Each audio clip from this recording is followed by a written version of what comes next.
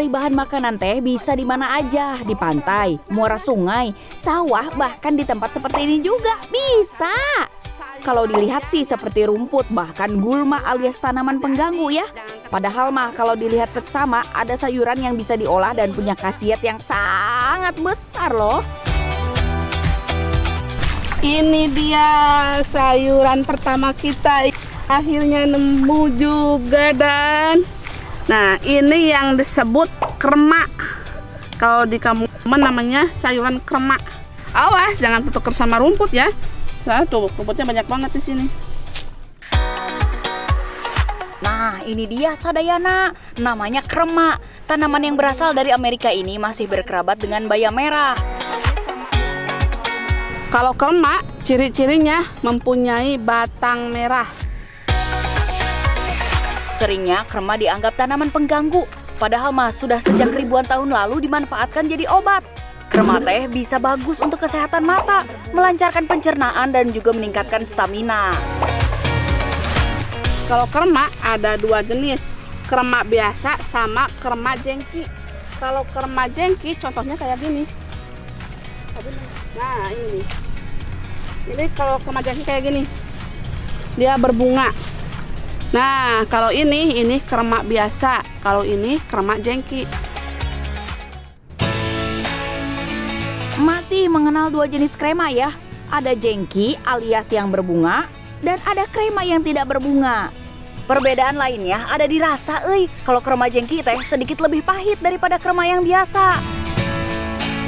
Dan yang kedua sayuran samanggen tuh. Dan kalau samanggen ini lumayan melimpah, banyak banget. Ayo, A. Kalau di kampung namanya samanggen. Tangkal Tuh. Nah, pokoknya seperti ini. Banyak banget kan?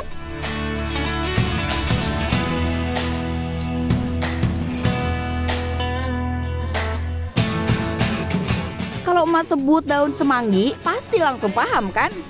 Nah, iya teh daun semanggi. Bentuk daunnya sangat khas. Kalau Sadayana tinggal di Jakarta, pasti pernah melewati jembatan semanggi kan? Nah, jembatan itu teh kalau dilihat dari atas bentuknya kayak daun semanggi ini. Semanggi teh termasuk ke kelompok paku air yang mudah ditemui di pematang sawah atau tepi saluran irigasi. Buat orang Irlandia, daun ini dianggap pembawa keberuntungan loh. Kalau untuk khasiatnya, loba pisan euy, daun semanggi bisa mencegah osteoporosis serta mengobati infeksi saluran kencing, amandel, batuk dan sesak napas. Lalu semanggi sudah banyak yang mengolah seperti pecel semanggi dari Jawa Timur ini. Tambahan daun semanggi bisa menambah kenikmatan makanan tradisional ini. Ada juga yang mengolahnya jadi kue modern namanya almond crispy. Daun semangginya dijadikan bubuk terus dicampur ke adonan kuenya. Bagian atasnya ditaburi potongan kacang almond. Mantap surantap kan? Ini teh kesukaan emak. Manis, gurih, dan renyah.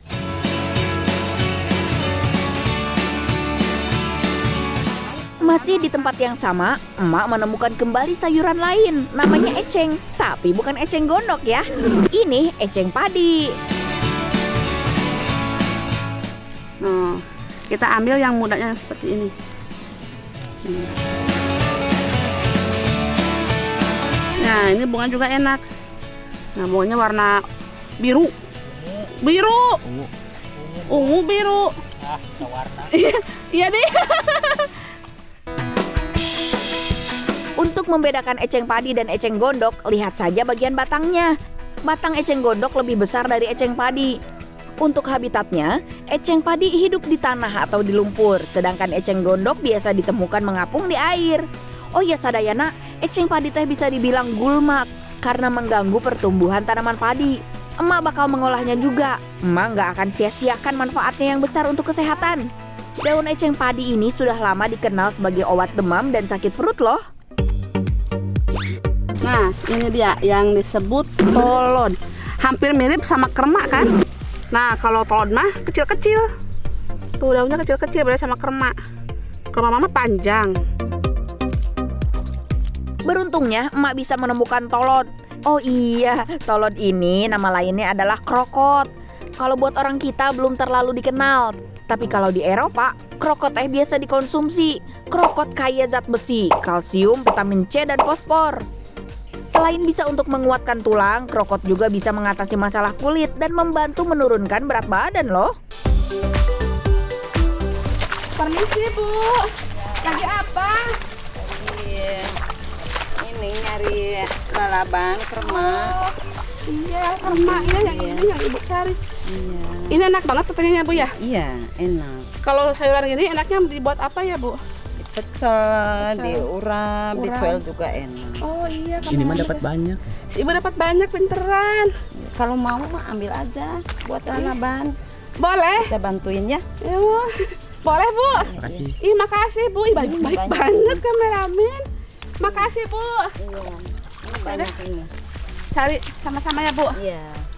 Awas ada yang serupa tapi nggak enak Nggak enak. dimakan. Ibu. Aduh, baik banget nih ibunya. Semakin banyak rezeki ya, Bu. Emak dikasih banyak sayur. Kalau begini, emak tinggal berburu sedikit lagi, baru pulang deh.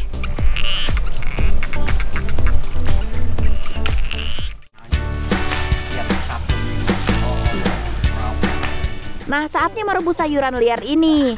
Hari ini emak mau bikin urap, jadi nggak ribet. Setelah sayur agak layu, diangkat lalu dicuci dengan air dingin. Sayur-sayur liar ini tinggal dicampur deh sama urap. Emak yakin Sadayana mah udah paham banget kan sama bumbu urap? Bismillahirrahmanirrahim. Bismillahirrahmanirrahim. Hmm. Enak banget ah, segar. Hmm. Das daunnya segar lah. Daunnya enak. Bum, empuk lagi. Tadi rebusnya lama. Ini Nah, yang kecil daun apa? itu Ah, lupa. daun Lupa. apa? Hmm, tahu lupa.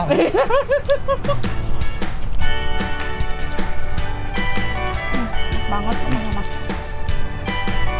Rasanya enak banget, tercampur sama beberapa dedaunan ya, beberapa sayuran. Satu jenis daun aja udah banyak khasiatnya. Apalagi ini ada banyak jenis daun dimakan sekaligus. Urap. Urap mentah, jadi nggak dimasak dulu urapnya. Cuma sayurannya direbus. Hal sederhana begini saja buat emak bahagia. Siapa yang menyangka sayur-sayuran yang awalnya dianggap gulma teh malah bisa dimakan dan punya banyak manfaat.